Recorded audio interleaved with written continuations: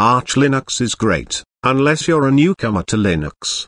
Arch Linux is a distribution that is a do-it-yourself project. Arch lets you build the operating system from the ground up, allowing you to have full control over everything that gets installed onto the system, as well as having access to all the ports, and this is also great if you're privacy conscious and prefer to not have diagnostic data or telemetry baked into the operating system, and some people say Linux is full of telemetry, but that's a load of shit, unless you're referring to the telemetry collected by all the applications, which let's face it, is reality and is unavoidable. Some apps do let you turn off telemetry data collection, although many switch to Linux because this is not present in the operating system they are using, whether that be Windows, Mac OS, Chrome OS, or something else that we know. Hogs your data and sells it like it's going out of fashion, well with Arch Linux, or really, any distro, you have not to worry about hidden backdoors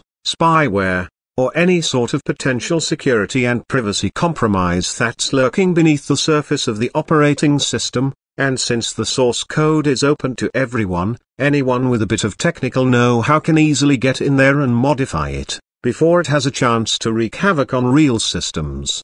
Arch Linux is a great distro if you love fine-tuning the operating system and spending hours customizing the user interface, but what if you want pure simplicity? or perhaps a nice and easy system with a friendly user interface, well, that's where Arch starts to become a less viable option, especially if you're new to Linux and don't have the slightest clue about anything Linux related. I hear people recommend Arch for beginners, and to see that is very upsetting, and annoying, because for one, Linux is all about freedom, therefore, you shall not force one to use a specific distro. For two, Arch Linux is not the distro that the average Joe would want to use, if they're the command line interface, they will freak out and have a heart attack, and Arch can be problematic with network cards, sound cards, graphics cards, etc., depending on the specific hardware you have, so don't go telling me that Arch Linux is for beginners and noobs, it is about as far away from being beginner friendly as could possibly be.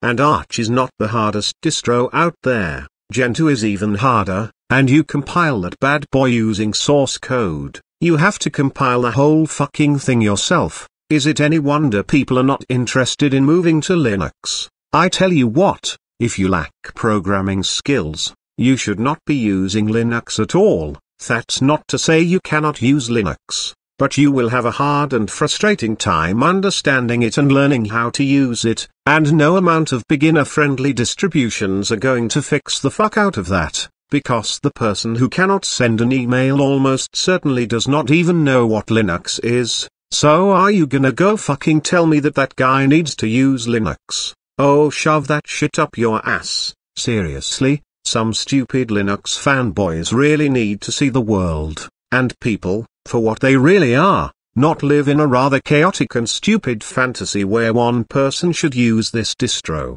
this person should use the distro, this one is better than the other. Oh please, can you fuck off with your childish ass bullshit? It sounds like a pair of fucking five-year-olds fighting with each other, so come on, get a grip on reality you numbnuts. And also stop telling people what they can or cannot use, we have our own freedom and autonomy to do as we please, so you shall not infringe upon that, and on top of that, please stop recommending the most difficult operating systems to the least tech-literate people out there. You seriously expect that everyone has all the time in the world to learn Linux, and that everyone has that skill set? Well unfortunately, that's just not the way the fucking world works. And you Linux fanboys are gonna get a nice slap on the face, or the wrist, when reality pays you a visit, who knows how reality will come to you, but one way or another, you won't see it coming. Arch Linux is a great bit of kit if you have all the time in the world,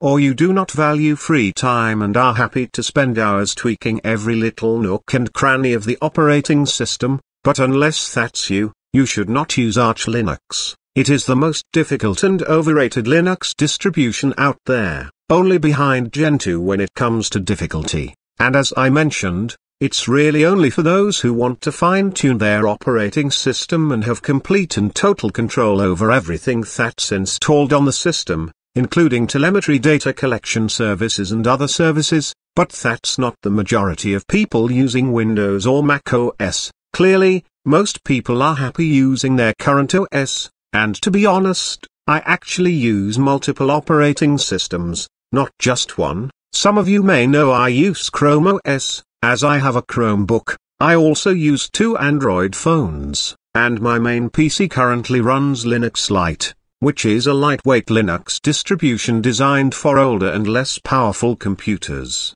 And I when I come to change distros again, yes, I have actually switched from Mint, to Ubuntu, to Linux Lite, but I have been using Mint for years, and Ubuntu was somewhat unfavorable, so I had to go with something light, different, and unique, and I would say that Linux Lite does just that, although when I come to install another distro in God knows how long, I may end up going with Arch Linux, as I want to work the system from the ground up, install my preferred desktop environment, which for me, would be Cinnamon, KDE Plasma, or XFCE, although I also love Mate and GNOME, they are lovely as well. But I would have to ensure that Arch works well with my Wi-Fi dongle, and other various hardware accessories I tend to use on a regular basis, so once I have taken Arch for a spin and driven it a few times, I will see whether or not I will make the switch.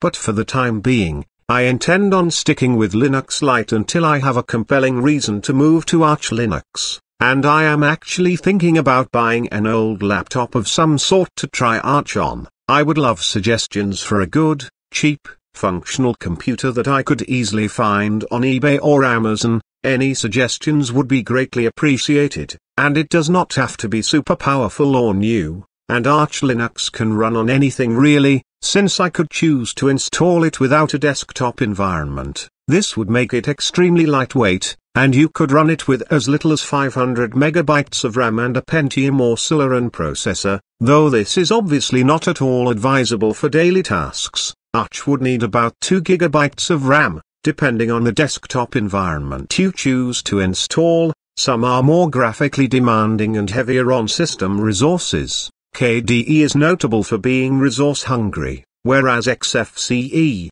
by contrast, is lightweight and runs very well, even on very low-powered computers, meaning computers with a low-spec CPU, GPU, and little memory can run efficiently with a Linux operating system that's using the XFCE desktop environment, and these desktop environments can also be used on BSD. But given all this variety, it also makes it overwhelming for beginners and newcomers, they wouldn't know what to use, or what would be best for them. Remember, everyone has their own tastes and opinions, so your idea of the best is completely different to another one, and Arch Linux is great and all, unless you're not at all experienced in using Linux and running scripts. Arch Linux is a blessing and a curse, I would think because while you have total control and input over the system, it also makes life unnecessarily complicated and very involved, and if Arch Linux breaks,